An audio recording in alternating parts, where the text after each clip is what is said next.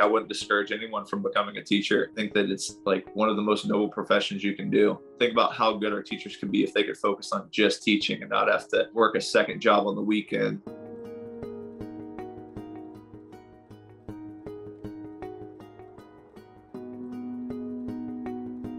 The compensation uh, it was it was a lot better than I think people are used to and what people would expect.